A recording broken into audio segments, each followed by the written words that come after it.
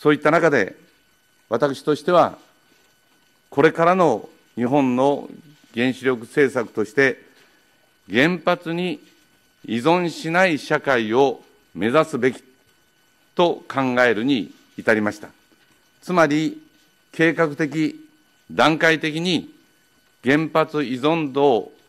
下げ、将来は原発がなくてもきちんとやっていける社会を実現していく。これがこれから我が国が目指すべき方向だと、このように考えるに至りました。